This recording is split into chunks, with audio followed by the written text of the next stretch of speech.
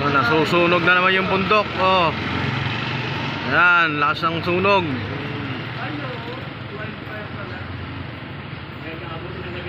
Ayan, kakakalbo na yung bundok dito sa Maribeles, oh. Susunog na. Ano kaya yan? May nag may nag-uling na naman kaya yan? Nag-uling o nasunog sa init?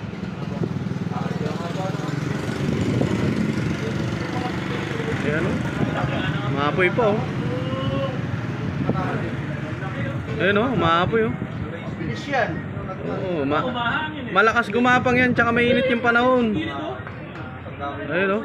Oh, yung apoy oh, kitang-kita yung apoy oh. Ang lakas oh. Oh, kumakalat na yung ano. Apoy. Oh. Taas na rin yung apoy niya eh oh. Dapat helicopter na yan, yan. Pag hindi naman nila pinagkita sa tukang bahay nila, lalakad ang doon. Oh, kaila. Lakas na ng apoy,